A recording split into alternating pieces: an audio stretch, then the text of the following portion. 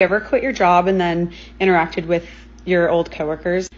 The chemistry is never the same after somebody quits, right?